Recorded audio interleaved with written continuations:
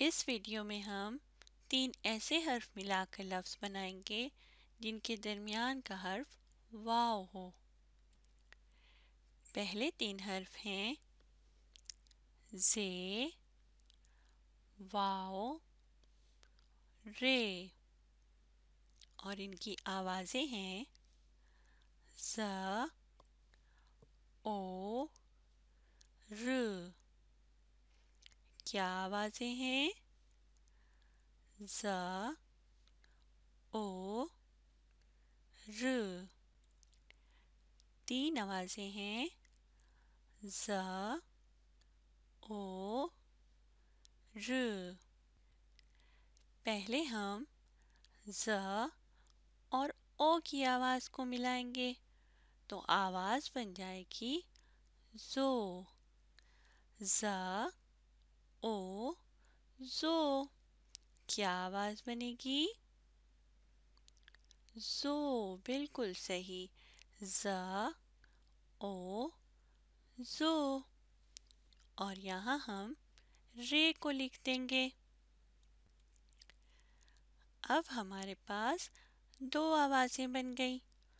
जो, र। क्या आवाज़ें हैं? जो र जो और र की आवाज़ को मिलाने से आवाज़ बन जाएगी ज़ोर, यानी लफ्ज़ बन जाएगा ज़ोर। जो र, ज़ोर, क्या लफ्ज़ बनेगा? ज़ोर, बिल्कुल सही। जो र, ज़ोर। तो लफ्ज़ बन गया ज़ोर। अगले तीन हर्फ हैं बे, वाओ और लाम। यहाँ बे की आधी शक्ल का इस्तेमाल होगा और इन हरूफ की आवाज़ है बा, ओ, ल। कौन सी तीन आवाज़ें हैं? बा, ओ, ल। पहले बा और ओ को मिलाते हैं तो लफ्ज़ बन जाएगा बो। बा, ओ, बो। और यहाँ लाम को लिख देंगे। तो अब हमारे पास दो आवाज़ें बनी। बो ल बो और ल की आवाज़ को मिलाने से लफ्ज़ बन जाता है बोल। क्या लफ्ज़ बनेगा? बोल, बिल्कुल सही। बो, ल, बोल। लफ्ज़ बन गया बोल। अब अगली तीन आवाज़ों की तरफ़ बढ़ते हैं। अगली तीन आवाज़ें हैं। ता ता, ओ, ल। यहाँ ते की आधी शक्ल का इस्तेमाल होगा। क्या आवाज़ें हैं हमारे पास? ता, ओ, ल। पहले ता और ओ की आवाज़ को मिलाएँगे तो आवाज़ बन जाएगी तो। क्या लफ्ज़ बनेगा? तो बिल्कुल सही।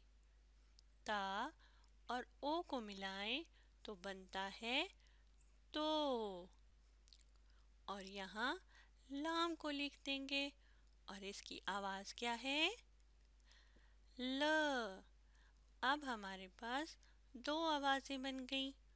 तो ल। अब देखते हैं कि तो और ल की आवाज़ को मिलाने से क्या लफ्ज़ बनेगा। लफ्ज़ बनेगा तोल। तो ल, तोल। क्या लफ्ज़ बन जाएगा? तोल। बिल्कुल सही। तो ला, तोल। लफ्ज बन जाएगा, तोल।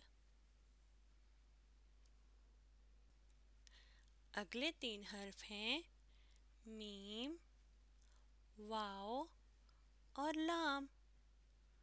यहाँ मीम की आधी शक्ल का इस्तेमाल होगा और इनकी आवाज़ें क्या हैं? मा, ओ, ल। पहले माँ और ओ की आवाज़ को मिलाएँगे तो लफ्ज़ बन जाएगा मो। माँ, ओ, मो। और यहाँ लाम को लिख देंगे। अब हमारे पास दो आवाज़ें बनी। मो, ल। मो और ल की आवाज़ को मिलाएँ तो लफ्ज़ बन जाता है मोल। लफ्ज़ बनेगा मोल। बताइए, क्या लफ्ज़ बनेगा?